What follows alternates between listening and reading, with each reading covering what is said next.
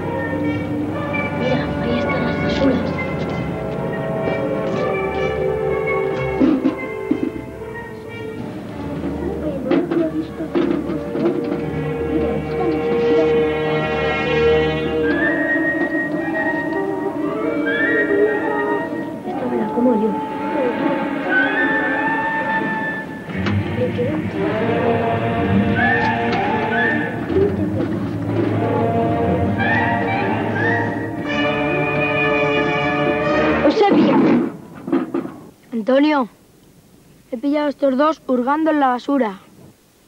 Que te den a ti la merienda de ellos, anda.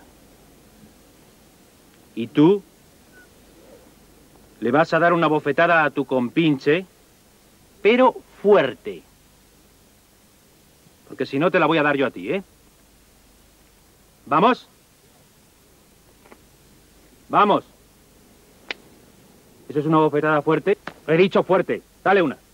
Más fuerte. Más fuerte. ¡Fuerte! Más fuerte.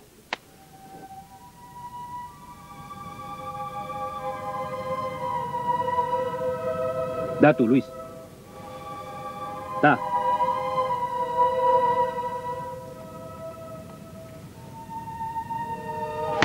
Más fuerte. Más fuerte. Con la otra mano también.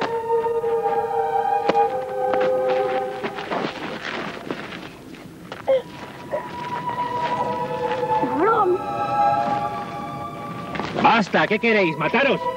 Menudos amigos sois vosotros dos. ¡Fuera!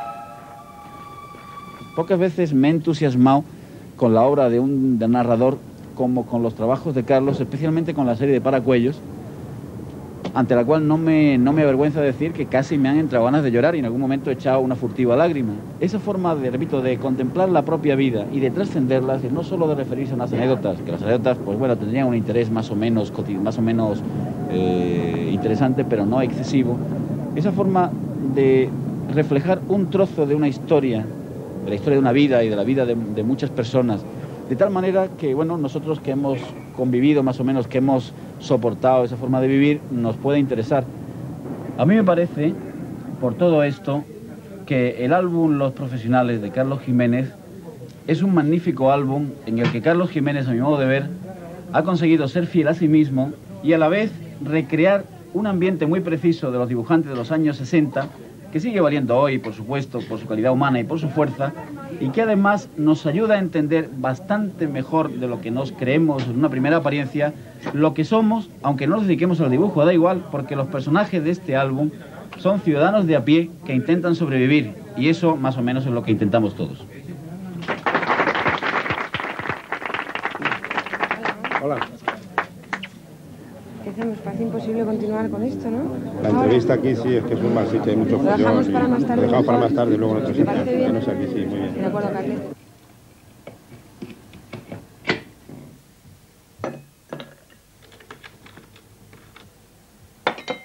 ¿Quieres tomar algún cubata, whisky? Grabando, grabando. Un, dos, tres, grabando, grabando. Carlos, vamos a continuar con la entrevista. Ya hemos dado un repaso a toda tu obra, desde Colau, pasando por Om, y llegamos a Paracuellos. Y entonces ahí cuentas tu infancia, ¿no?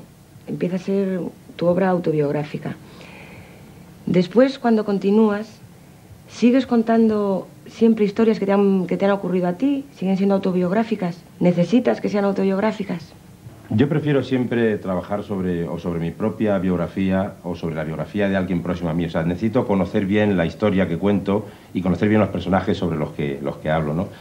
En cuanto a Paracuellos, Paracuellos es el nombre de uno de los colegios en los que yo estuve, de auxilio social. Y en cuanto a hacer la historieta de Paracuellos fue por, porque yo ya había, ya llevaba mucho tiempo haciendo historietas tradicionales, historietas de aventuras. Y tenía un poco la necesidad de, contar mis propias historias, mis propias vivencias, mis, las cosas que a mí me preocupaban. Recorrí varias, varias revistas, varias editoriales y nunca conseguí o sea, publicar más de dos o tres historietas seguidas. Hice el primer álbum de Paracuellos, tuvo una cierta aceptación y entonces decidí hacer el segundo álbum. Para hacer el segundo álbum quise ir a Paracuellos. Quise volver a ver el colegio y quise sacar fotografías también. El primer álbum lo había hecho de memoria, el segundo álbum, el segundo álbum quería hacerlo viendo primero eh, los escenarios auténticos. Con Adolfo Usero, que es un dibujante también y amigo mío que había estado conmigo en el colegio, nos fuimos, nos fuimos a, hicimos un, viaje y nos fuimos a, a Paracuellos. Y en Paracuellos vi el colegio, vi el colegio y bueno, y recordé, ¿no?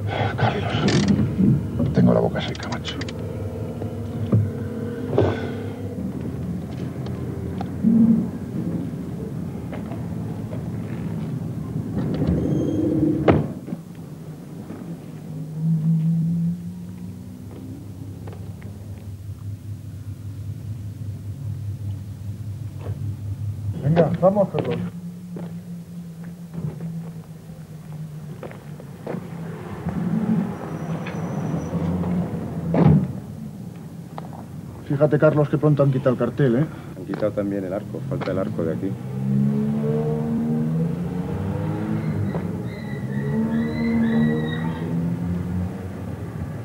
Carlos, ¿tramos o qué? Venga, hombre. Espera, espera un poquito. Pero si no nos van a comer, chalao. Si aquí no comen a nadie, vamos a entrar, ¿no? Espera, espera, vamos. Espera un momento, hacemos unas fotos primero por aquí, de, de la puerta. ¿Qué pasa? ¿Que ¿Tienes miedo o qué? Venga, hombre. Espera, espera un momento.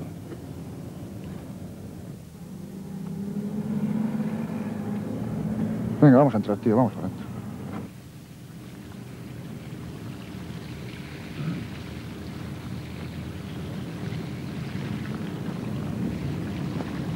Hola, buenas tardes. Buenas tardes. Esto, ¿Cómo se podía hacer aquí para, para ver el colegio y tal? Un poco, ¿se puede ver? Pues hombre, De yo visitarlo creo, por dentro y hacer unas fotos y tal, ¿se puede yo hacer? creo que sí. Sí. Hay un director, se habla con el director y, en fin, lo que él diga. Muy bien, pues nos puede- puede acompañar a lo mejor. Pues sí. ¡Carlos! ¿A qué es lo que vienen ustedes aquí? Nosotros somos unos, somos unos antiguos alumnos del colegio y queríamos, bueno, echar una ojeada a todo esto. ¿Y en qué año estuvisteis vosotros? Nosotros, en- Estuvimos en el año 50 hasta el 52.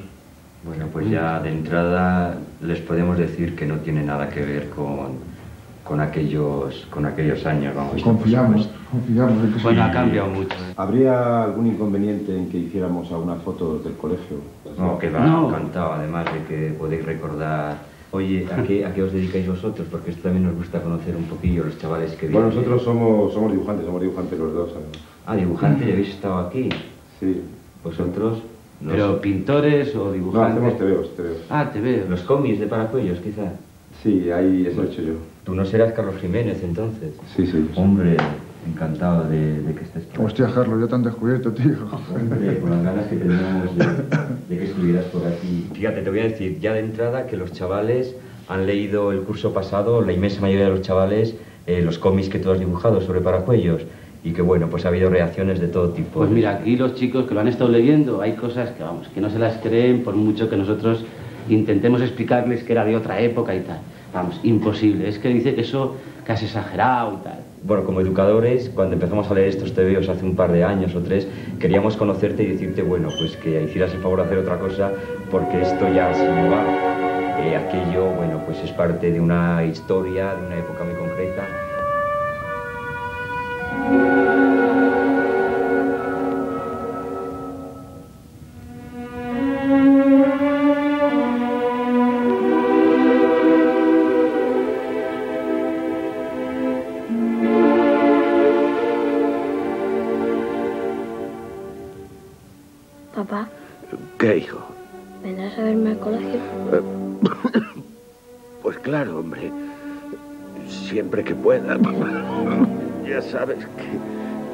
muy bien. Esto, esto del pecho. Pero tú tranquilo, ¿eh? Porque te escribiré. Es mejor así, ¿sabes, hijo? Porque si siguieras en casa terminarías poniéndote enfermo tú también. Y esta... esta tos que yo tengo es contagiosa, ¿sabes? Además, tú solo en casa, todo el día en la calle, yo qué sé. Te harías un golfo o lo mismo te pilla un coche. En cambio aquí, serás atendido, irás a la escuela y te harás un hombre, hijo. Ay, si viviera tu madre, todo sería diferente. Últimamente hemos tenido muy mala suerte. Primero lo de tu madre, pobre, que en paz esté. Luego yo que pierdo mi trabajo en la Renfe. Después la muerte de tu hermano Juanjo. Y para colmo, me meten en la cárcel por lo del extraperlo. Qué idiota fui. Pero ahora había que vivir, ¿no? ¿Y ahora? ¿Qué hago yo ahora? Un hombre enfermo, sin trabajo y con cinco chicos. ¿Me comprendes? ¿Verdad, hijo?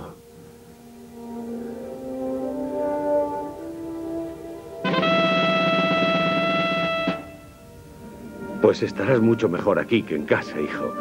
Ya lo creo que estarás mejor. Aquí tendrán balones, juegos, eh, de todo. Qué bien lo vas a pasar, hijo mío.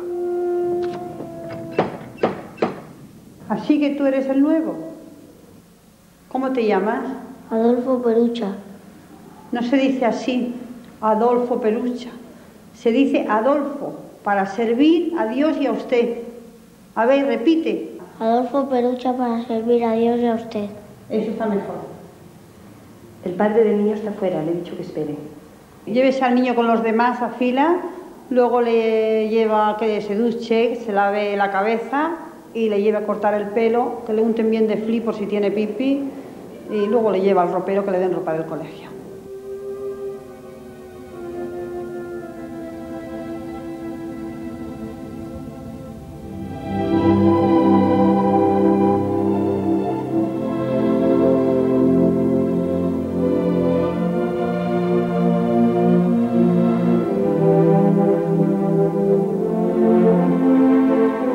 Quiero saber quién ha sido y se me está acabando la paciencia. Traigo uno nuevo. Bien, que forme con los demás. Que se ponga al final del tercer pelotón.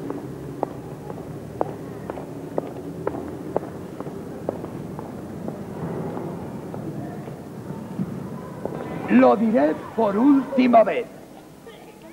¿Quién ha sido? os recomiendo que digáis quién ha sido. Si no, van a pagar justos por pecadores. Recuerde que las visitas son el primero y el tercer domingo de mes, de 4 a 6. Os advierto que si no decís quién ha sido,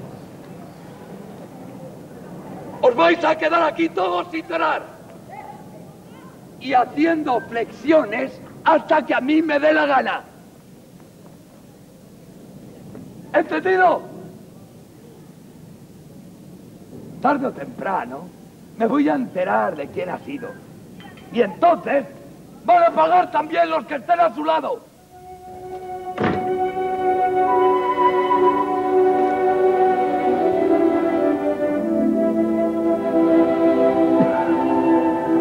Voy a contar tres.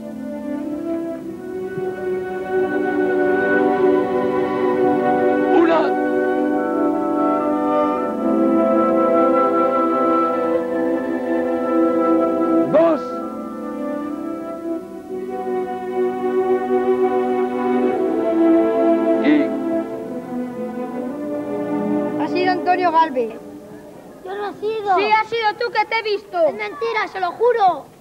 No he sido. ¿Tú le has visto tirarse el pedo? Sí. ¿Le has visto o le has oído? Le he oído. Mm, ay, ya me extrañaba a mí. Porque que yo sepa, los pedos no se ven. ¿Alguno ha visto alguna vez un pedo? No.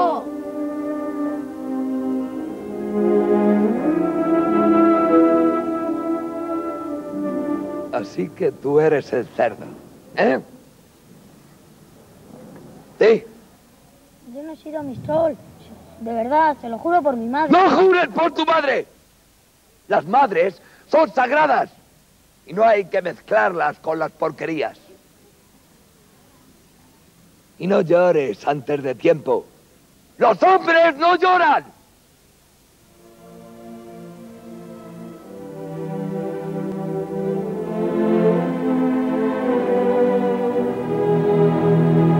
¿Cuántas bofetadas dije que te daría?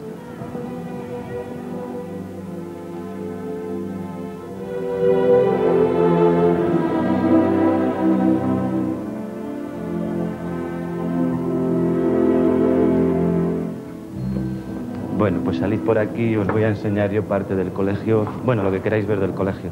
Esto supongo que estará igual que cuando estabais vosotros, Esto está mucho más bonito. Ahora tiene plantas, y tiene enredaderas, y tiene tiempo. Bueno, bueno, es una zona que a los que a los críos les gusta estar porque se sientan en los bancos, es una zona muy fresquita, ¿sabes?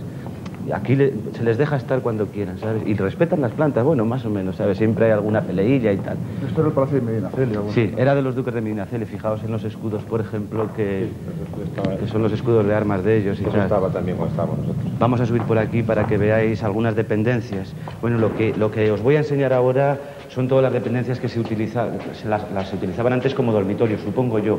Ahora las utilizamos para almacenes, o sea, almacén de ropa, almacén de, de material que ya no se utiliza en el colegio, que es viejo y tal, ¿no?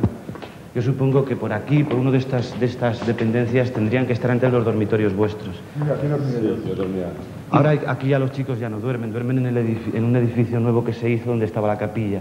Y ahí pues viven, los chicos viven todo el día, o sea, ahí duermen, ahí estudian, ahí ven la tele, hacen actividades. Bueno, a- a- por cierto que aquí pues se, se edita una revista, ya os la enseñaré para que la veáis. Y espero que bueno, que me hagáis por lo menos la portada y el final de la revista, ¿eh?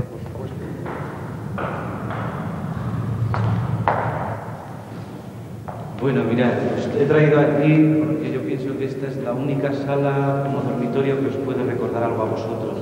¿Vosotros habéis dormido en este dormitorio juntos? No, nosotros no dormíamos juntos, pero...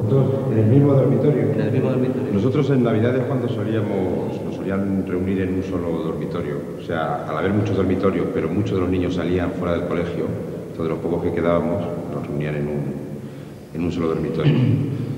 Que por cierto, una Navidad me ocurrió a mí una cosa bastante desagradable. Y es que habíamos, como nos quedábamos muy pocos en el colegio, esa noche pues eh, teníamos la sensación de que la Navidad, como efectivamente era, ¿no? Y cuando todos los chavales se iban, o sea, cuando ya se acababa la noche, pues, nosotros seguíamos teniendo la sensación de la Navidad, de alargarla y tal. Entonces, como estábamos los pocos que quedábamos en el colegio, estábamos reunidos en este dormitorio, pues ahí seguíamos charlando. Esa noche también las maestras, las guardadoras y tal, todo estaba un poco más relajado. Y me acuerdo que otro chaval y yo, que éramos amiguetes, un tal Elías, estuvimos, pues bueno, contando historias, contando cosas en la, en la cama de uno de los dos. Y debimos de quedarnos dormidos y nos quedamos los dos dormidos en la misma cama, ¿no? sin mayor problema. Y a la mañana siguiente, cuando nos despertamos, lo primero que vimos fue una profesora, una, una profesora era, horrorizada, viendo dos niños en la cama juntos, con una cara de estar viendo una escena infernal. Nosotros no sabíamos de qué iba aquello, pero claro, la, la sensación que nos daba aquella ¿Qué edad señora- teníais entonces? Nosotros pues podíamos tener 8, 9 años, 10 como mucho, y sobre todo que no teníamos ni la más pequeña idea de, de dónde iba el rollo, ¿no? Y aquella señora que nos miraba con aquella sensación de que nosotros éramos algo, que éramos culpables de algo muy gordo y que no sabíamos de qué iba, y que bueno, y que pues ahora vamos a avisar a la directora y tal, nosotros nos quedamos horrorizados ahí, fuimos a contárselo a los chavalitos de lado, pues ahora nos hemos metido en un follón porque estábamos en la misma cama y verás tú lo que va a pasar, tal. Llegó la directora, ¿dónde venís? Por no decir que estábamos en el dormitorio de la nación, venimos del váter. Del váter, estos niños son insaciables, tal. Del váter. Terminamos, terminamos se- separados, no nos podíamos juntar, o sea que el niño estaba castigado en un sitio, castigado en otro, separados para que no tuviéramos ningún contacto físico sometidos a un interrogatorio terrible que yo además no recuerdo de por qué, o sea, no, sabía por qué era, pero que recuerdo que era terrible, porque además te hacían preguntas del estilo de, pero ver, ¿quién empezó? Y tú decías, yo pensando en mi historia decía, bueno, el que contó la primera historia fui yo, ¿no? Entonces a lo mejor empecé yo, o no, empezó él, ¿no? Pero como no, también estabas tú un poco tenías la idea de que aquello no era lo que te estaban preguntando. Y no sabías de qué le estaban preguntando, ¿no? Y solamente sabías que era horrible. Y fue uno de los momentos más angustiosos y de más pesadilla que yo recuerdo en mi vida porque tenía una sensación de ser un mal bicho, de ser algo sucio y algo... Yo lo recuerdo es, de estas habitaciones, el, el recuerdo más fuerte que tengo eran los castigos que imponían algunas guardadoras a algunos niños que se meaban, que eran los meones, que les llegaron a torturar por, por mearse en la cama, es decir, eran, tenían el muelle flojo y el niño aquel que se meaba, desde luego al día siguiente sufría las iras de algunas guardadoras que eran especialmente duras. ¿no? Ave María Purísima. Sin pecado concebida. Con Dios me acuesto. Con Dios me acuesto. Con Dios me levanto. Con Dios me levanto. Con la Virgen María Con la Virgen María y el Espíritu Santo. y el Espíritu Santo. Ahora, todos a la cama.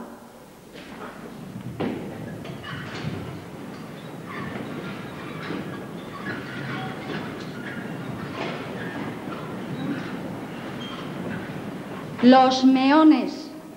¿Habéis hecho pis? Sí. Si alguno se mea esta noche en la cama, puede prepararse.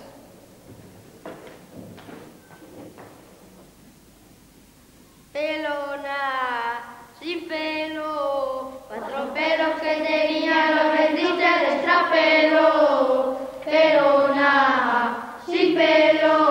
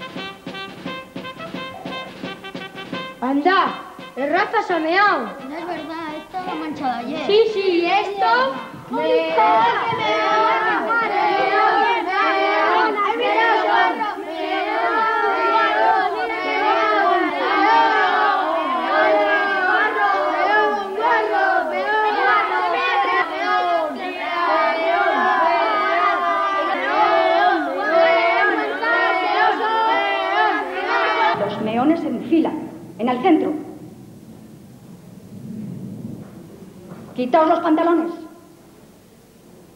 ¡Abajo los pantalones! ¡Y los calzoncillos!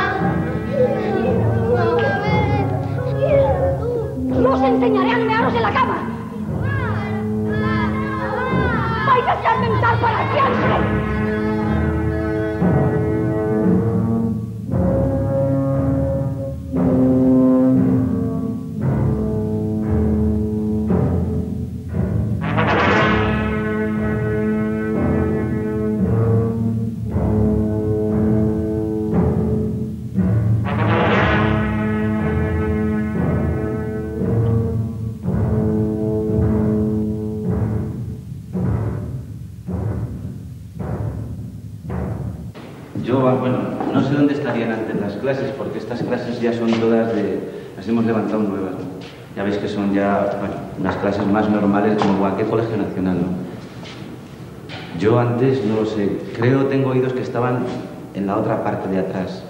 Estaba más o menos por esta zona, por lo que yo recuerdo, lo que pasa es claro, eran, eran diferentes edificios y, bueno, había diferentes clases, no había, no había libros. O sea, aquí los libros estaban prohibidos. Bueno, aquí ves los libros de... Estaban prohibidos todos los libros menos los, menos los libros de texto del colegio, naturalmente. ¿no? Respecto a cuestión de novelas, cualquier tipo de novela, pues de qué autor, pues está prohibido. Bueno, pues ya os enseñaré luego dónde tenemos la biblioteca y tal para que la veáis. Oye, ¿y aquí qué estudios ¿Tenéis hay? paracuellos de ahí? Bueno, ya, ya te dije cuando estuvimos en el despacho que aquí el paracuello se ha leído mucho, ¿eh? Pero mucho de verdad.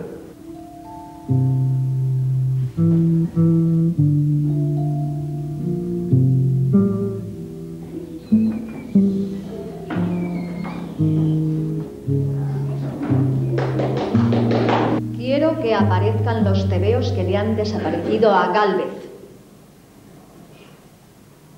Si no aparecen dentro de diez minutos, os quedaréis todos sin comer.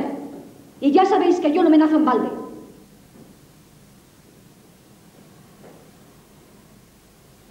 Está bien, vosotros lo habéis querido. Os quedaréis en el dormitorio sin comer, sin jugar y sin salir de él hasta que aparezcan. El que tenga los tebeos, le voy a partir la boca. ¿Seguro que tú has sido el que ha robado los tebeos? No, no, yo no he sido, te lo juro. Faltan los colchones a ver si están debajo. Yo no encuentro nada. Hay que buscar algo para comer. No sé, como no comamos las sillas. Tengo una idea. Podría yo saltar por la ventana y coger algo de comer, pero luego me tendríais que ayudar a subir. Vale, vale.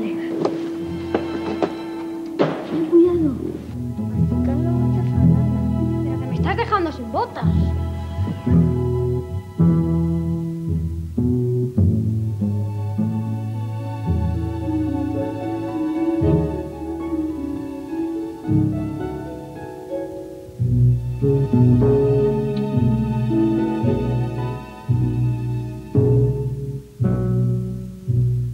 ¿Qué comes? Papel. ¿A qué sabe? A papel. ¿No te habrás comido tú los tebeos de Angelito? No. Que traigo! Ha la furgoneta de suministro. El palacio de Palulú.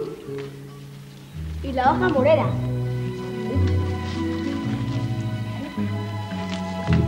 Este es el comedor que tenemos. No sé a ver qué os parece. Yo estoy, vamos, encantado con el comedor. Estoy igual casi, ¿eh? ¿Lo tenéis?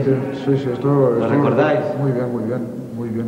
Estamos embargados por la emoción. Aquí es donde pasábamos cantidad de hambre. Allí, ah, bueno, ahí pasábamos hambre porque contábamos con los compañeros la cantidad de garbanzos que teníamos en, en el plato. ¿no? Ciertos alimentos como los huevos o como la fruta pues, no, no- no llegaban nunca. Yo durante el tiempo he estado en los colegios, no solamente en este colegio, sino en los demás colegios, yo creo que no he comido huevos. Nunca. O sea, hasta que no salí del colegio no he comido un huevo. ¿Y leche? Y fruta. ¿Y leche? Y fruta, yo me acuerdo que una vez que nos dieron melón aquí en Paraguay, debió ser una semana que nos dieron melón, pero nos dieron varios Sí, días. sí, yo me acuerdo muy bien. Y el primer día, Es la el primer día que nos dieron el melón, nos dieron para vender rajada de melón a cada uno. Nos pusieron en fila y según íbamos pasando, pues nos iban dando una raja. de melón. Y luego nos formaron otra vez para, para que entregáramos la cáscara del melón. Pero claro, no había cáscara. Todo el mundo nos habíamos comido el melón. Todos los chavales habíamos comido, junto con el melón, nos habíamos comido también la cáscara. ¿no? Entonces, al siguiente día, la siguiente vez que nos dieron, que nos dieron melón, entonces dijeron, acordaros de que hay que entregar la cáscara. ¿no? Entonces no nos podíamos comer la cáscara. Entonces dieron nuestro melón, nos estuvimos comiendo y luego nos formaron para que lo entregáramos. Y se entregaron las cáscaras más inauditas que has visto en tu vida, ¿no? Eran unas cáscaras, pues como papel, o sea, verde por los dos, igual de verde por un lado que por otro. Y bueno, pues a veces, por tanto rebaño que rebañamos, se taladraba y ha dado como una puntillita verde, así como una especie de... O sea, decir que, el hambre en esta pequeña anécdota puedes notar que, era muy fuerte. Había una serie de chavales a los que nosotros denominábamos los moneotas. No, déjame, déjame, déjame que lo cuente yo, Carlos. Es que es muy, muy majo. Era un tema, es un tema muy divertido porque la, bueno, había unos chavales muy especiales que creían que el hambre, eh, retrasando la comida, podían conseguir tener menos hambre, ¿no? Entonces se entretenían con la comida. Los moneotas, los moneotas, como le llamábamos, eran niños que cogían un higo, por ejemplo, y se lo untaban en la mano y entonces se tiraban con ese higo comiéndolo toda una tarde. Y tú dices que eso es imposible. Y bueno, en, aquellas, en, esos momentos, en, aquello- en- esos tiempos, pues era, era realmente magistral la habilidad que tenían los niños para ser capaces de comerse un higo en cuatro o cinco horas. Y cogían con una hoja de afeitar, iban cogiendo trocitos así, separándolos de- del higo, del resto más grande, y entonces pues lo guardaban, este trozo grande lo guardaban y cogían aquel, aquella pizca, se la untaban en el dedo y con la cuchilla o con el dedo iban pasando así y aquel higo no se acababa jamás. Y eran capaces de aguantar una situación así, pues no sé, horas y horas, ¿no? Era realmente maravilloso, en fin, no sabía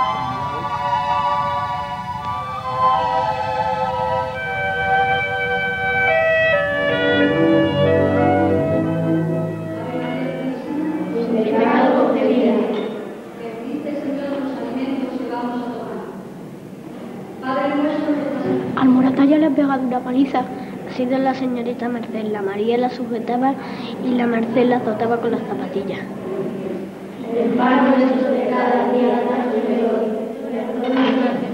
¿Qué pasa? Que al Moratalla se le han quedado los zapatillazos marcados en la carne y se puede leer el número de la zapatilla y todo.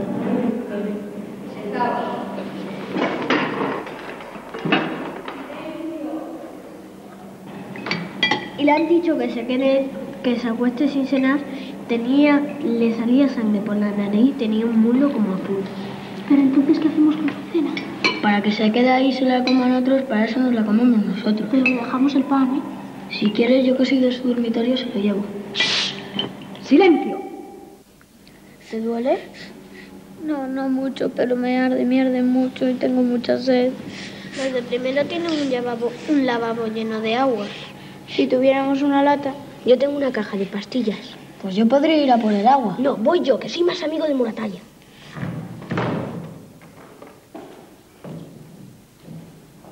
Si me preguntan por ti, les digo que ha sido mear.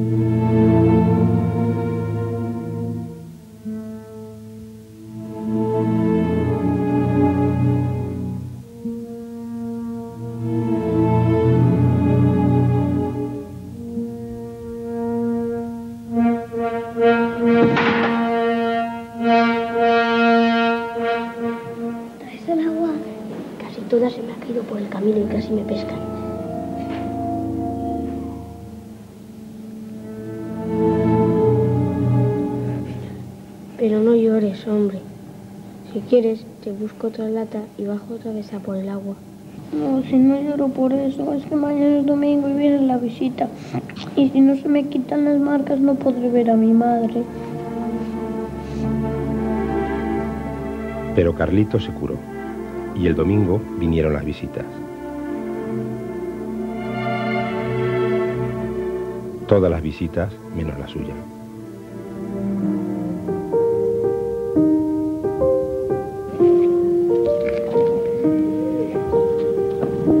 ¿Cuánto tarda en abrir? No creo que falte mucho ya.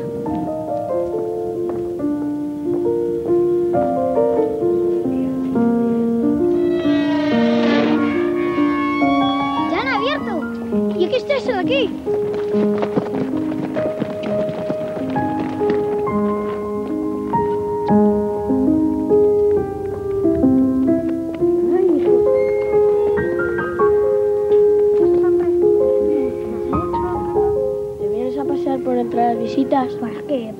¿Para pasar envidia viendo cómo comen los demás?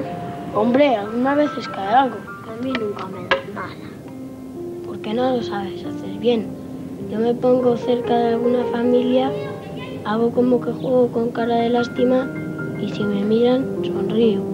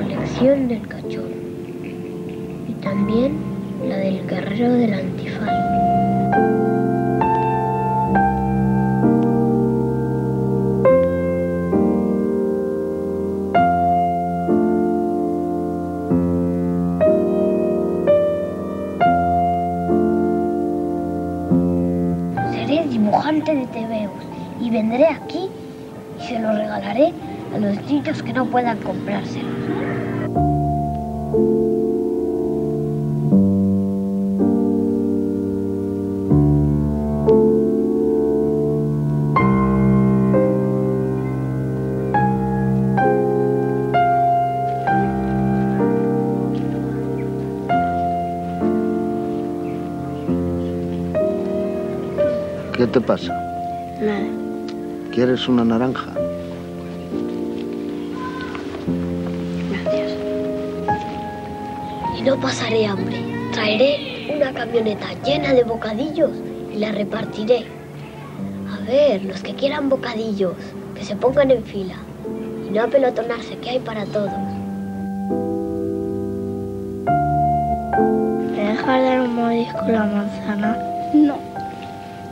Mira, si me dejas dar un mordisco la manzana, te dejo que me des un puñetazo con todas tus fuerzas. ¿En la cara? No, en el pecho. Entonces no. Bueno, vale, en la cara, pero entonces me das dos mordiscos. Vale. Eso, cuando yo sea mayor, seré dibujante de tebeos. regalo? Dos cáscaras de sandía y un papel También había un papel de periódico lleno de tripas de melón, pero se me ha adelantado el Apolinar y se lo ha llevado a él. Y al jamao le han traído el último del cachorro.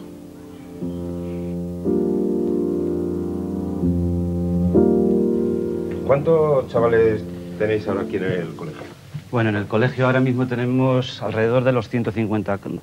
Tenemos parte de internado y parte de externado, aunque el externado es minoritario. Es decir, 150, 140 internos y el resto externos, que son del pueblo y normalmente pues vienen aquí a las clases y luego pues se marchan o a sus casas ya o bien se quedan aquí a trabajar en las actividades extraescolares, en el teatro o en cerámica, alguna cosa de esta. Pero normalmente les suelen marchar a hacer vida de familia, vamos, salvo que les guste el deporte o cosas de estas, ¿no?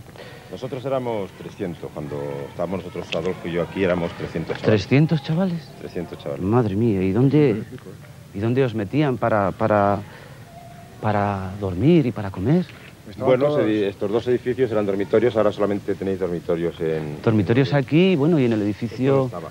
Aquí en este campo de fútbol, yo no sé si tú te acuerdas, Adolfo, yo me acuerdo que cuando llegamos aquí al colegio, esta parte de aquí, tenía una hierba de, bueno, de- nos cubría a nosotros. Y nos dejaron hasta que nos distribuían o nos pensaban dónde nos iban a poner, tal, nos dejaron a jugar ahí. Y en el tiempo que estuvimos jugando nos, nos comimos toda la hierba. Nos comimos toda la hierba. Imagino que todo empezó pues jugando un poco al escondite, hasta que alguien debió de dar un mordisco a un tallo, le salió bueno. Y bueno, al final se descubrió que las hojas sabían a lechuga, que los tronchos sabían a, a repollo y que las raíces sabían a palo.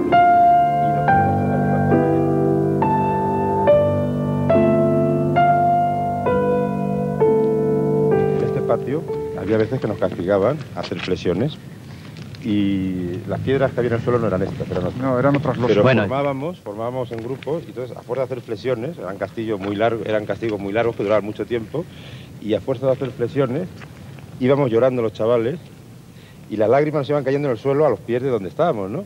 Iba humedeciéndose el suelo y cuando rompíamos filas se veía cuántos chavales habíamos estado haciendo flexiones según las manchitas que hubieran quedado en el suelo de las lágrimas de los que habíamos estado Madre llorando. mía. Es terrible, parece una historia negra, pero es vamos. verdad, ¿no? Y en estos porches de aquí, en estos porches que además en verano hacía un calor terrible, ahí hacíamos, hacíamos las siestas, unas siestas completamente formadas, o sea, puestos firmes, puestos con los ojos cerrados, firmes, tumbados en el suelo, claro. Había un momento en que en uno de los porches da, da el sol y en otro da la sombra. Y entonces había unos que les tocaba el sol y otros les tocaba la sombra. Pero luego el sol iba girando, claro, dos horas después el sol había cambiado, ¿no? El sol y otros les tocaba la sombra. Pero luego el sol iba girando, claro, dos horas después el sol había cambiado, ¿no? Y los que les tocaba la sombra les tocaba esta vez al sol. Y al que le tocaba, había algunos que tocaba todo el tiempo al sol, esto lo pasaban muy mal, ¿no? Porque era un calor, era un calor asfixiante. Bueno, pero es suelo. que era obligatorio echarse la siesta. Era obligatorio, además eran siestas muy largas y además con la sed que teníamos era, pues, bueno, estábamos negros como el carbón, ¿no? Estábamos... Lo que era además terrible era el, hecho de que tenías que obligatoriamente o dormir o fingir que estabas dormido y no podías tocarte la cara. O sea, si habíamos casos o algo así que te molestaban, inmediatamente había un chaval que comentaba lo que decía la señorita por una especie de vigilante elegido por él o por ella y bueno, inmediatamente pues te, levantaban, te hacían despertarte si estabas dormido o si estabas fingiendo, te levantaban y,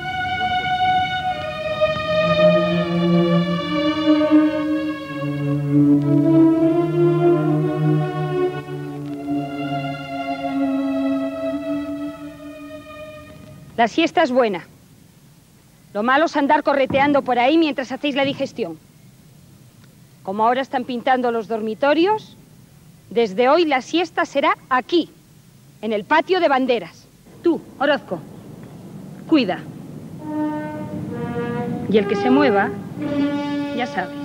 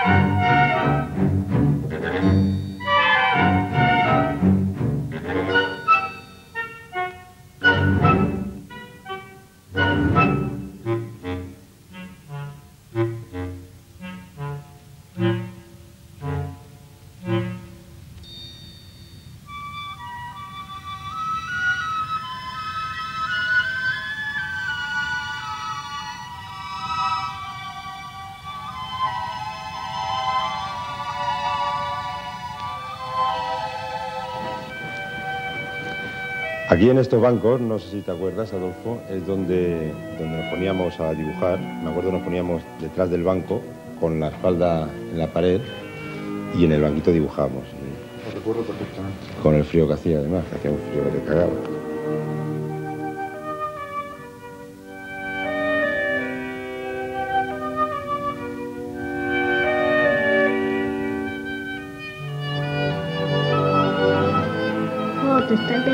Tal cual, ¿eh? Yo de mayor voy a ser dibujante de TV como G. Irancio. Pues vas a ganar Y seguro mucho que me sale dinero. bien.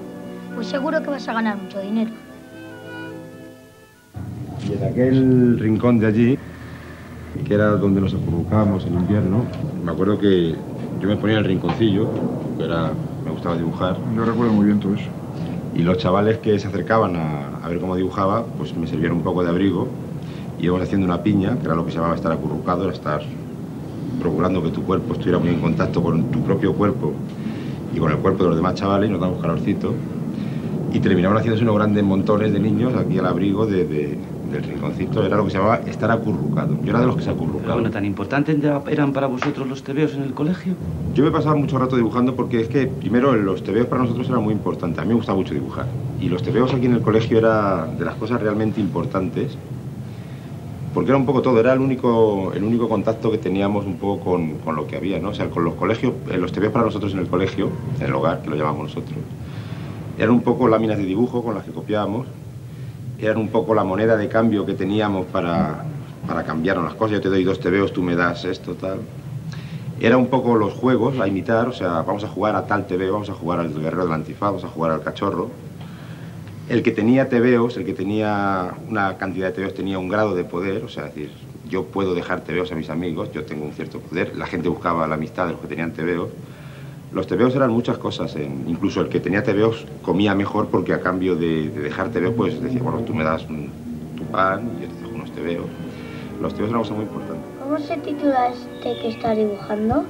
El valiente Miguel contra el ataque de los piratas sin cabeza. Es un poco extraño eso de que los piratas no tengan cabeza, ¿eh? Hombre, la tienen invisible. Si no, no sería muy emocionante. Si Miguel quisiera, podría quedarse con todo el tesoro, pero a él no le interesa el dinero. Lo que le interesa es hacer el bien a los demás y dejar muy alto el pabellón de España. Va, pues yo preferiría el tesoro. Niños, a ver, silencio. Silencio. Hoy vamos a repasar el catecismo. Y no quiero en mi clase un solo niño que no lo sepa. Vamos a ver, Perucha. ¿Hay por ventura tres dioses? No, señorita. Uno en esencia y tiene en persona. Muy bien, siéntate. Carlitos. ¿Quién es Dios?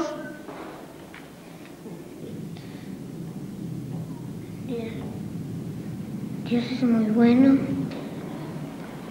¿Quién es Dios? ¿Quién es Dios, Carlitos? ¿No lo sabes? Ven aquí. ¿Quién es Dios?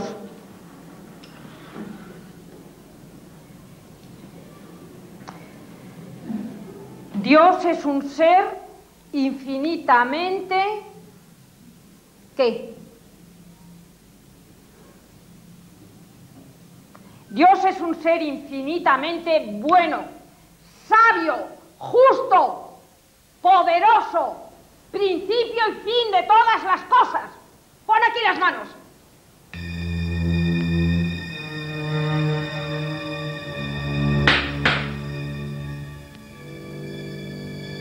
Adelante, mis leones, al abordaje y que no escape ninguno de esos malditos filibusteros. ¡Al ataque! ¡Ataque!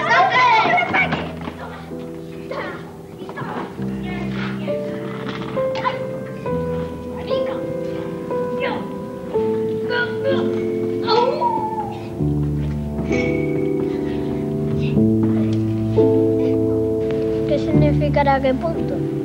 Gaby, Guillermo, Guecinto, ¿qué significará? No sé, un recinto, yo qué sé. ¿Sabes lo que pienso hacer? ¿Qué? Voy a vender churroscas de pan por dinero y me compraré toda la colección del cachorro. ¿Sí? Bueno, pero vas a pasar mucha hambre, ¿eh? Pues no, ya lo sé, pero...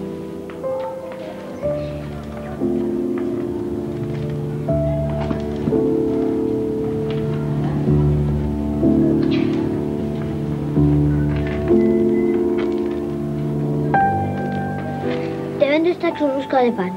¿Qué te pasa? ¿Que no tienes hambre? Claro que tengo hambre. Se me caen las lágrimas casi de hambre que tengo. Lo que pasa es que quiero conseguir toda la colección de tebeos del cachorro.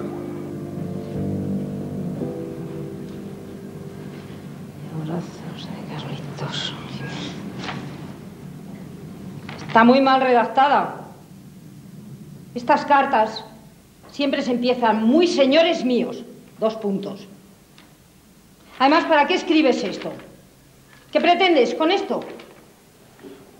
Que me manden los tebeos del cachorro del 1 al 25. ¿Y con qué dinero vas a pagarlo? ¿Tienes el dinero? Sí, ¿De qué? ¿De qué tienes dinero tú? lo he ahorrado ¿Cómo? vendiendo churruscas de pan. ¿Vendiendo? Churruscas de pan. Mucho dinero me parece a mí que tenéis vosotros, ¿eh? Mirad, estos lapiceros me los ha mandado la señorita de Castellón para vosotros. Señorita de Castellón por aquí, la señorita de Castellón por allá. ¿Qué será esta señorita de Castellón? Pues eso, una tía vieja que vive en Castellón y que tiene muchas colillas de lápices y se dedica a mandarlas a, a los niños que se aprenden el catecismo. Pues ya podía mandarme un bocadillo. Me ha dicho, para los niños que mejor se sepan el catecismo. Así es que quiero que cuando venga a visitarnos, todos, todos los niños de mi clase os sepáis el catecismo perfectamente. ¿Mm? Si me das media barra, te debo la vida. Vale, pero primero júralo. Lo juro por Dios, palabra o no, que me quede muerto. Muy bien, toma el pan y cómetelo. Pero luego vienes aquí para que te mande algo. Recuerda que lo has jurado y eso ya no se puede volver atrás. Y si no te vienes a mí, te iré a buscar yo y será peor. Date un puñetazo fuerte en la cara. Jo, me debes la vida, ¿no? Pues date un puñetazo fuerte en la cara. Eso no es fuerte. Date otro. Y más fuerte. Muy bien, te puedes ir a jugar. Carlitos Jiménez, paquete para ti.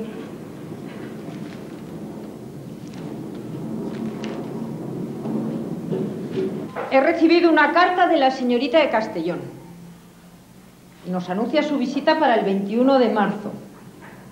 Bueno, ese día vamos a hacer un campeonato de catecismo. ¿eh? Y vamos a formar dos equipos.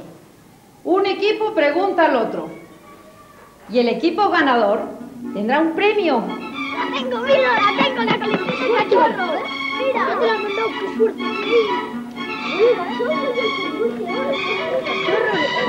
Mira, mira, mira, mira, Ay, mira esta que se siente. No sé, estoy tiritando como de felicidad. Está muy bien.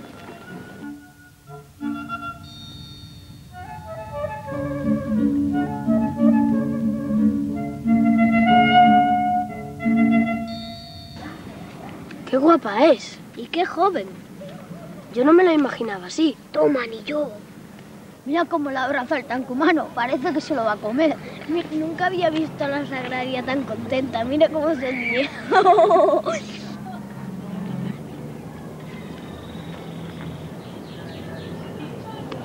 Chúpame el culo, tanque humano.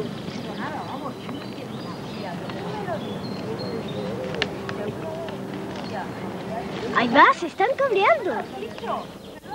¿Por qué no me lo vas a dar si me lo has prometido? ¿Y tú qué me has prometido? Te lo he prometido todo, yo te tengo regalos para los niños. Pero no hablo de regalos. ¡Ostras! ¡La que están armando! ¡Qué broncazo! ¡La ha pegado! ¡Ha pegado a la señorita de Castellón! Anda mi madre, menudo gallo que le han guiñado. ¿Y cómo ha sonado? Va, que viene hacia aquí. ¿Y qué más que oye? ¡A formar! ¿No me habéis oído? ¿Qué es esta mierda? ¡Los tebeos a todas horas, mamarrachos! Todo esto es una porquería. Hay que aprender el catecismo y no perder el tiempo en tonterías. Esto es lo que os den vuestras madres. Aquí, uno por uno. Carlos. Carlos. Tú el primero. ¿Me has oído, señor Jiménez? Carlos Jiménez. Aquí, delante de mí. Vamos. De aquí, deprisa. ¿Qué es esto? El siguiente.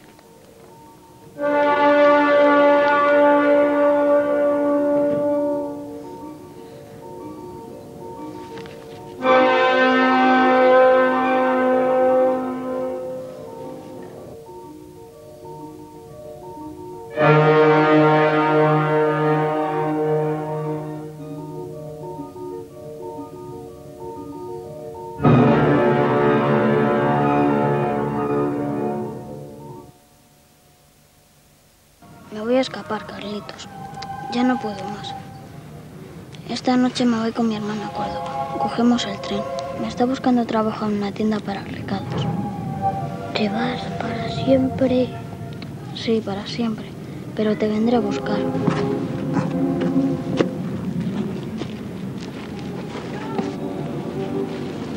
Adiós. Esta noche me voy con mi hermana a Córdoba. Cogemos el tren. Me está buscando trabajo en una tienda para recados. ¿Te vas para siempre? Sí, para siempre. pero te vendré a buscar.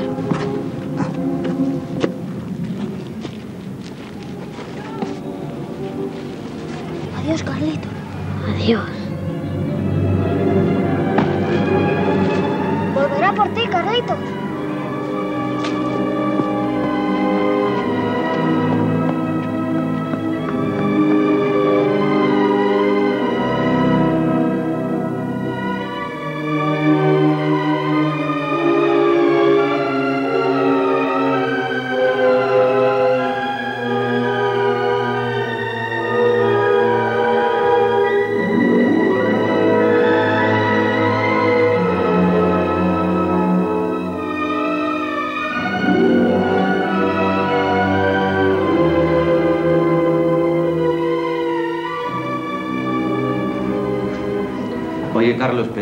Dibujo este de Paracuellos 1 no me lo hagas, que esos son niños muy tristes, ¿eh? Yo quiero algo más alegre.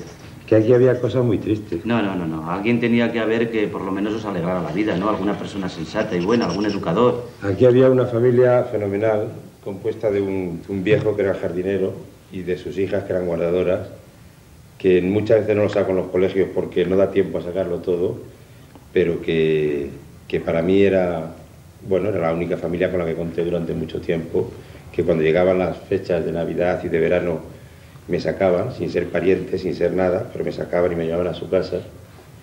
Y quizá los únicos recuerdos, ya que no tenía otra familia que yo tengo de niño, de un poco de calor y un poco de cariño y un poco de amor y, y buena alimentación. Fue eso el tiempo que estuve en casa de estas personas. ¿Pero alguna familia de aquí del pueblo? Sí, sí, gente de aquí del pueblo, la familia Saldaña, una gente estupenda. Sí, pero para ti la persona más importante en la familia, en la familia Saldaña fue el abuelo Belio.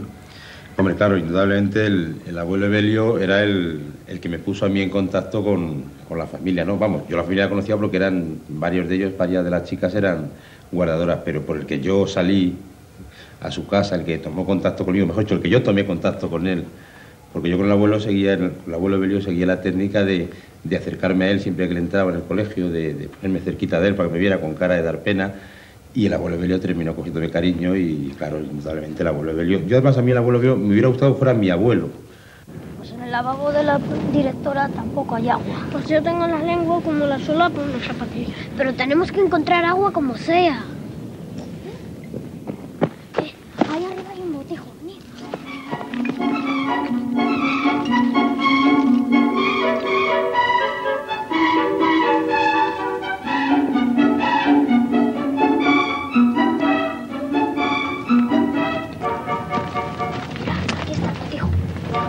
El botijo del señor Evelio, el jardinero. Primero. Luego yo. Eh, bebe deprisa, que tengo sed. Venga. Pero no eres tanto. Yo, yo. Ahí está. Ahora me toca a mí. Tengo mucha sed. Venga. Oye, que yo también quiero. Venga. Venga, date prisa, bebe. Mm.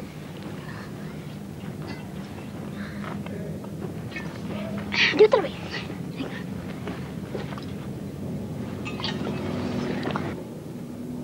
¡Ya no queda! ¡Jope! ¡Jope! Cuando venga el señor Evelio y vea que no hay agua en el botijo... No sé, a lo mejor se lleva la directora. Nos castigan a todos. ¿Qué hacemos? Pues podemos mirar dentro del botijo y así parecerá agua. ¡Es ¡Qué buena idea! ¿Y si se lo bebe el señor Evelio y se muere? Enrique Mercader se bebe los meados y no se muere. Jope, pero el bebé no se dará cuenta de que son meados. No, se creerá que el agua se ha vuelto salada. Sí, ¿te crees que el señor Ibelio es tonto? Tú, tú déjame a mí.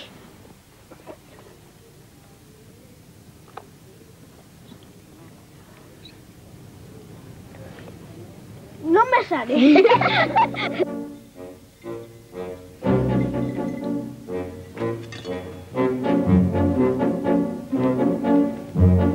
¿Y ahora qué? ¿Eh?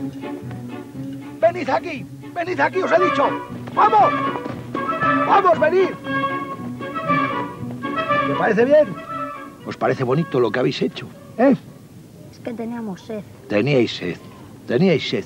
Y por eso os habéis meado en el botijo. ¿Eh? Era para que no se notara que habíamos bebido agua. Para que no se notara, ¿eh? Y así habéis dejado sin beber a un pobre anciano que está trabajando de sol a sol.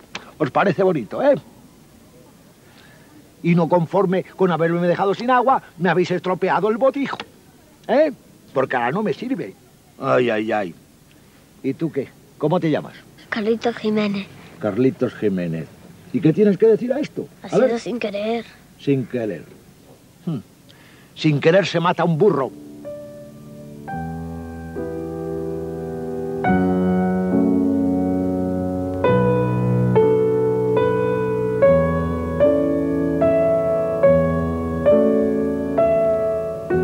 Ya hemos terminado.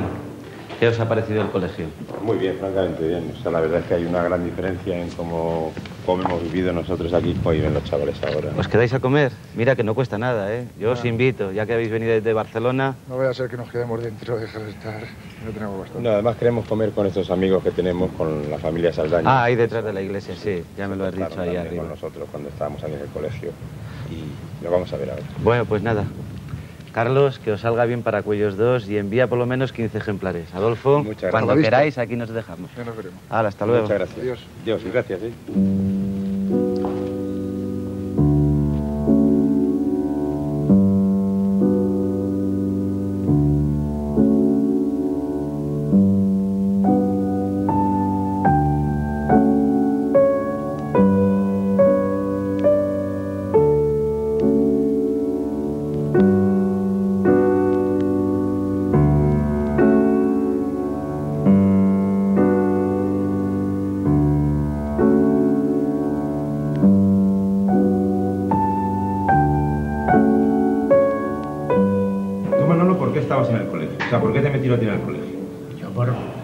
Rojo. Mi madre se había quedado sola, estaba ¿Tu sirviendo. padre había muerto? ¿O tu Mi padre murió.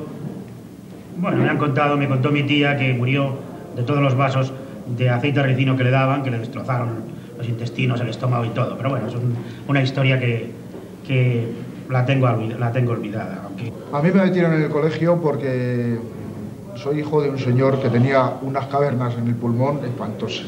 De esto me he enterado después. Pero por lo visto mi padre tenía una tuberculosis galopante y se me iba, se me iba, se me iba. Y entonces mi padre decidió que el contagio era inminente, eliminarme de, de la casa donde él estaba viviendo. ¿Y tú, Cándido, por qué entraste en los colegios de auxilio social? Hombre, porque era hijo de rojo, que mi padre se tuvo que ir refugiado político a Francia, al cual yo no ni le conocí ni él a mí tampoco. Que como cosa anecdótica, la primera vez que yo fui a Francia a conocerle, ¿Tú qué edad tenías cuando, cuando viste a tu padre por primera vez? 22 años, en el año 61, en agosto del 22. Y entonces lo primero que me hizo después de decir, bueno, pasa, pasa a la cocina, no te pongas nervioso. Me siento y me dice, bueno, ¿tú qué? ¿Facha o de los míos? Digo, yo así de sopete, más bien de los tuyos. Mi padre era falangista. Mi padre era de la Guardia de Franco, pero estaba tuberculoso. Y entonces había que salvar al niño de la familia que era yo, porque yo soy el de en medio de cuatro hermanas, dos mayores y dos pequeñas. Como todos sabemos, el problema de la tuberculosis era un contagio posible, potencialmente estábamos todos sujetos a ellos. De hecho, un primo mío murió, dicen que por contagio de mi padre, y entonces hubo que internar a otra hermana mía y a mí, y el resto pasamos todos. Pero mi padre era de la Guardia Franco, lo quiero significar mucho. Sea, que tú estabas Porque en el no tenía colegio- nada que ver, porque Tú aquí... estabas en el colegio no por hijo de rojo, sino No por hijo de rojo, sino por hijo de tuberculoso. Os acordaréis, una vez en el colegio, el delegado nacional que iba todos los viernes. Me iba a hacer una visita por el colegio, en fin, nos miraba, apenas saludaba. Pero una vez se le ocurrió venir hacia nosotros. Estuvo con nosotros charlando, nosotros, como era una cosa nueva, pues todos a por él. Charló con nosotros amigablemente y cuando se marchó, pues dijo, bueno, adiós chavales. Nosotros, pues bueno, adiós. En fin, cuando se marchó el instructor muy enfadado, pero un enfado terrible, nos formó a todos, dijo, a formar todos, los tres últimos. Los tres últimos, ¿te acuerdas que los que llegaban tres últimos? Los tres últimos quiere decir que los tres últimos que cacaos, llegaban, como que daban- que alguno tenía que llegar el último, eso era impepinable. Bueno, pues dice, ahora os voy a enseñar cómo se debía de haber saludado al director, al delegado nacional de auxilio social. Dice, os habíais debido de poner firmes, dar un taconazo y con el mano en alto decir, arriba España. Y estuvo durante un cuarto de hora o media hora, no me acuerdo yo, con el pito, pi y todo, arriba España, pi, arriba España. Y luego, después de la media hora, cuando ya se pasó eso, dice, bueno, pues ahora para que os acordáis, no sé tampoco cuánto tiempo, porque mucho tiempo, estuvimos durante media hora o tres cuartos de hora haciendo flexiones, para arriba, para abajo, para arriba, para Había abajo. flexiones con las manos en alto, sí, sí, sí. Pero bueno, que terminaba, yo, yo me caía para atrás, yo empezaba a llorar, eh, Antonio, que Además- no, además, Ah, Cándido que, Cándido se está físico, llorando, tal, dice, bueno, bueno, que lo deje, porque yo tenía un defecto físico y a veces me respetaban. Otros decían, pues que siga, hasta que me caía para atrás. Tenías esta ventaja. ¿sí? Hombre, yo, yo no entraba en los tres últimos, o sea, yo ah, que si yo llego ya en los tres últimos, todos los días me llevo una hostia. todos los días, todos los días te habían cogido. Toma. Mi obsesión era escaparme. Yo no sé si a vosotros os pasó algo semejante, pero yo mi obsesión era escaparme porque tenía la seguridad de que en casa aquello funcionaba. La primera vez que intenté escapar, no conseguimos reunir sábanas suficientes para descolgarnos desde el dormitorio que estaba en un segundo piso hasta abajo. Y entonces en los... ¿Os escapabais por una ventana? Nos escapamos por la ventana. Por Un la ventana balcón, un- era. era un balcón, Era un balcón. mejor, mejor dicho, era efectivamente un balcón. Había que reunir sábanas suficientes y desde arriba, éramos tres, recuerdo que éramos tres, pretendíamos descolgarnos a través de esas sábanas. ¿Qué ocurrió? El primero bajó y el segundo, que era yo, en el momento de estarme descolgando, se rompió la sábana. Yo caí al suelo y automáticamente la persona que estaba arriba dijo, ¡Keo! Creo que, que Keo, era el- el, el aviso era la que alguien se había oído algo. En un santiamén nos metimos en las camas. Tú y yo, Manolo, que en el colegio éramos muy amigos, Ya vas a contar la de siempre.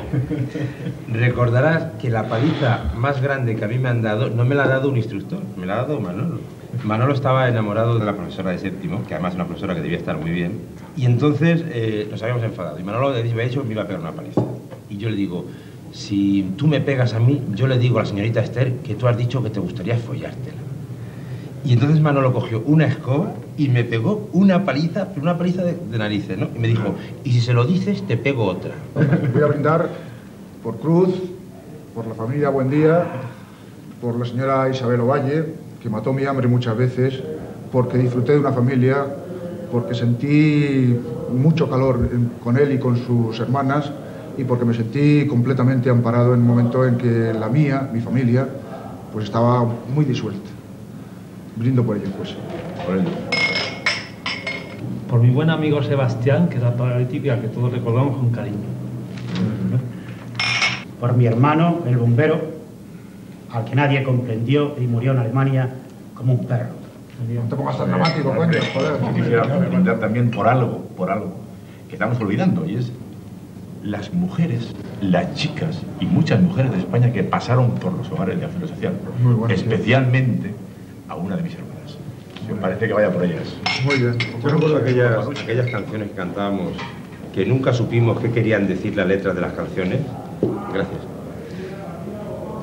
Aquello de, por ejemplo, de, de la mirada clara y lejos y la frente. ¿Te pongas tú a cantar? ¿Tú sabes? No, la por favor, vaca lechera. Me, me, me pongo yo a cantar aquí la internacional, ¿eh? Aquí. No participo, vaya, vaya número.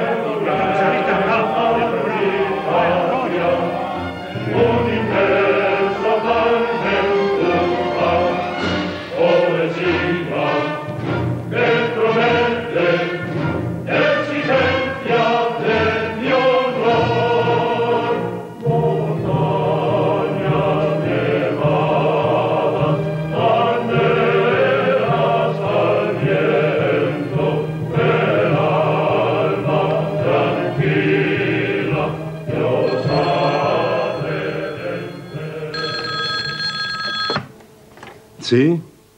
Hola, Adolfete. Oye, ¿vas a traer las páginas de Papus? No, no lo he terminado todavía. Estoy, estoy un poco a medias entre, entre la historieta y preparando un poco la portada del segundo álbum. Adolfo. Adolfo.